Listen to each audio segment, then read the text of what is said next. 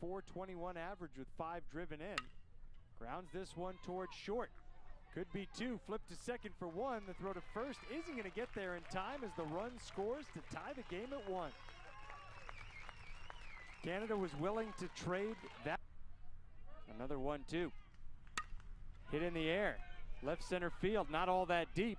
Charging in, sliding. Welch has it bounce off her glove and ricochets to Forkin in center as Canada scores the game's first run on what a lot.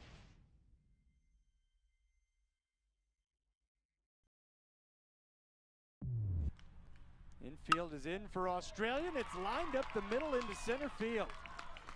Kelly took a stab at it. Ball comes all the way through to home plate, but Jelena stays put on first with that RBI single that snapped. Big 3 1. Big swing and a bouncer, right side. That will score a run, and it's 3 1 Canada as McClellan taps her toes on the first base bag. Lalor retired three unassisted, but she'll take the. There they go, and that's ball four to walk in a run. With the 2 2 count, Schroeder decided to abandon the breaking stuff, went to. Back to the fastball into center field, and that will tie the game.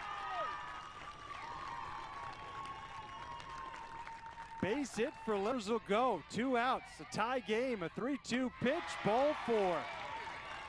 Australia takes the lead four to three. And that's four straight base runners with two outs here in the bottom half of the fourth inning.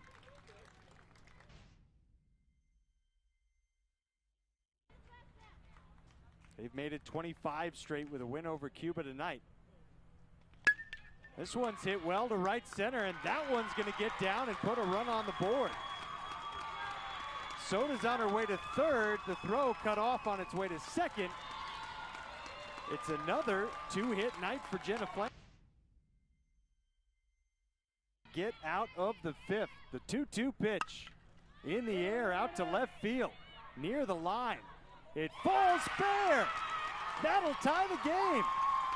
Into second goes Ross, the 17-year-old catcher. Has turned a pitch. Puts this one in play, out to left center field. Sliding grab for Kelsey Lalor to end the inning.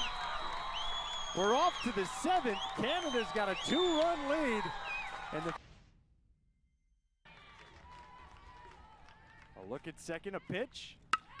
Hit on the ground towards second base. Luchanski shuffles it to second for the force out that seals the victory. Canada wins 9 to 6 and improves to 3 and 1, moves into second place in the Group B standings.